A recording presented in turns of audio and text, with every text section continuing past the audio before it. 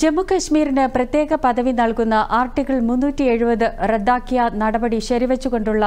supreme കോടതി വിധിയെ സ്വാഗതം ചെയ്യുന്നതായി അജ്മീർ ദർഗ ആത്മീയ നേതാവ് ഹസ്രത് സെയ്ദ് നസറുദ്ദീൻ ചിഷ്തി ജനങ്ങൾക്ക് നീതിന്യായ വ്യവസ്ഥയിലുള്ള വിശ്വാസം ഊട്ടി ഉറപ്പിക്കുന്നതാണ് സുപ്രീം കോടതി വിധിയെന്നും അദ്ദേഹം പറഞ്ഞു आज एक तारीखी judgement supreme court of India की तरफ से कश्मीर के आर्टिकल 370 को हटाए जाने को लेकर के आया है मैं सबसे पहले तो उस जजमेंट का वेलकम करता हूं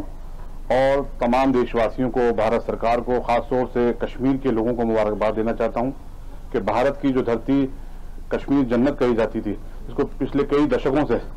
आतंकवादियों ने രാജ്യത്തെ अपने नापाक इरादों ശക്തവും के- സംഘടിതവും ആക്കുന്നതിൽ പ്രധാനമന്ത്രി നരേന്ദ്രമോദിയുടെ നേതൃത്വത്തിലുള്ള കേന്ദ്ര സർക്കാരിനും ആഭ്യന്തരമന്ത്രി അമിത് ഷായ്ക്കും അഭിനന്ദനം അറിയിക്കുന്നതായും അദ്ദേഹം മാധ്യമങ്ങളോട് പറഞ്ഞു